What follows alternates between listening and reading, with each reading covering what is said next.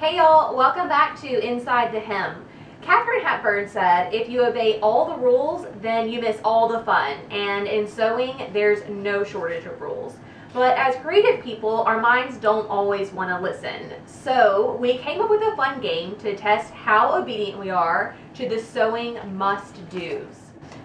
This is always, sometimes, never. I'm going to give Abby and Amber a well-known sewing rule, and they're going to say if they always do it, only do it sometimes, or never do it. Ready? So I have some cards here for you guys.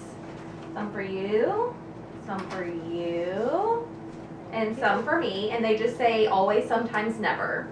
So I wrote down some sewing must-dos. And you are going to answer honestly. Always. Oh. I feel like I already know the answers for most of you guys though.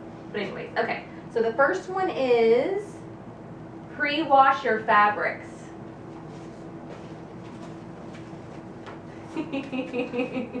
Sometimes. If I know the brand, sometimes I know I don't have to pre-wash it.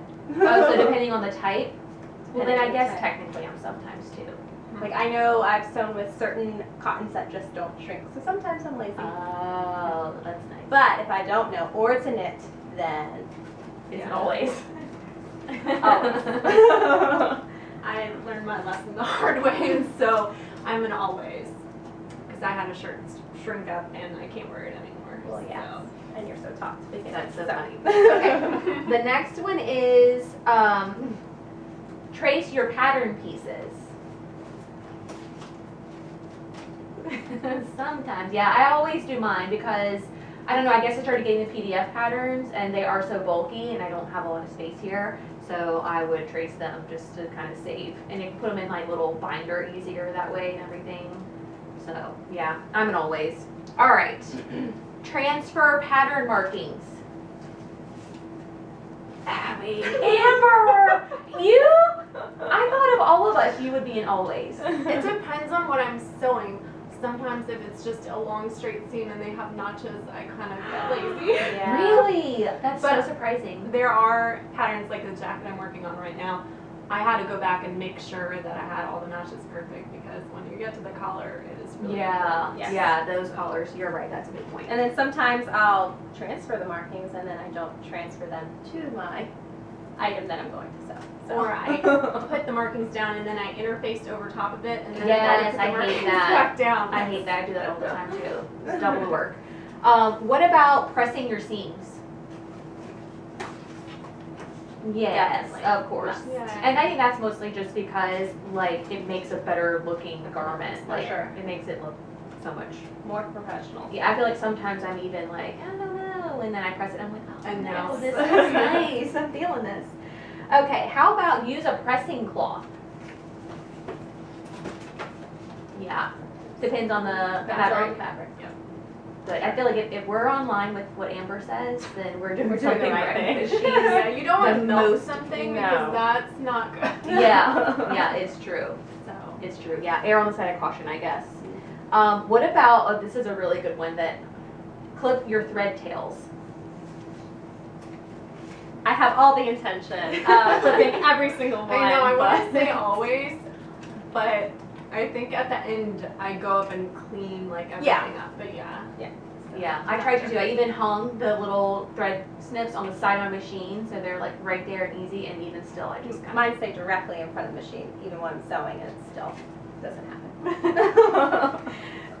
All right. What about just even pinning? Do you always pin every? Now that I've been sewing for a long time, I am not pinning much at all. Um, Oh, so you're rarely. I'm even have a rarely pinning now, Wow. but still sometimes. Yeah, no. I kind of feel like I'm sometimes, but lean toward always. Like I'm a almost always. I think it depends on what I'm sewing. Yeah, if it's a silk, for yeah. sure. Lots of silk pins. Yeah. Yeah. Cool. What about? Oh, this is. I know the answer to this one. Sew over your pins. Try not to. It happens. What? I want to say I've done it maybe once or twice, but I'm really careful. Like I always take them out, or like I use those clips so often. Yeah, Yeah, that's those have to come out. I just I really don't want to hurt my machine. Well, I still sometimes do it, and that's even after I broke a pin and it flew at my face from sewing over it. But sometimes when you're just sewing with the silk, I just leave them in and Yeah, I I leave them in always. But then again, I have the same machine I started on. It was like a hundred dollars, so maybe that's why. It's because I don't feel like there's a. I, I'm gonna like mess myself up and jinx myself, but I don't feel like there's like a lot of value attached to my machine anymore. There's So value to your face. Yeah.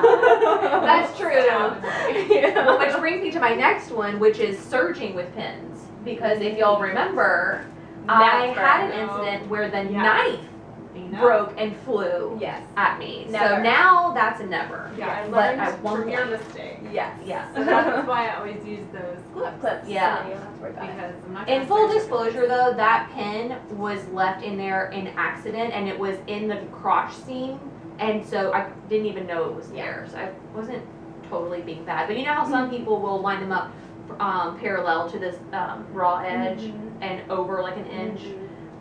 I kind of sort of maybe been starting to do that. I know, I know. All right. Um, what about rip out every single mistake and do it again? Sometimes. Well, Depends on the mistake. That surprises me about you. No, I've gotten relaxed on something. Yeah. Oh, that's good. But I bet if it's top stitching, you're ripping that out. If yeah, if it's contrasting, if Yeah. it's it depends on how noticeable the mistake is. If it's Mhm. gonna bug me in the future. Oh yeah. Do you have older projects that you notice something? Actually, no. I think I'm more critical um, while I'm working on it, and then you Mhm. forget You all forget of those little things. Yeah, and nobody else ever a big deal, notices. and nobody else No. knows. Yeah. Yeah. So. Um, what about when the pattern calls for it, doing the hand stitching?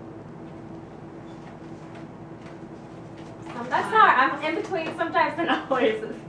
I'm a never. No. I always find another way. I hate hand Really? stitching.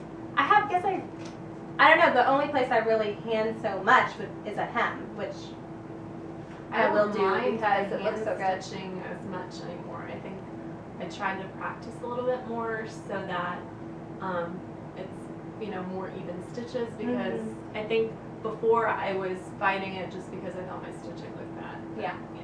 I, that's what, that's definitely what I'm doing. I even went and bought the blind stitch foot Mhm. and all, and that Still makes it doesn't look look worse. good. No, that doesn't look good either. can't stitch so. those hems. I just have all top stitched hems, I guess. Um, okay, last one. Follow the pattern directions exactly.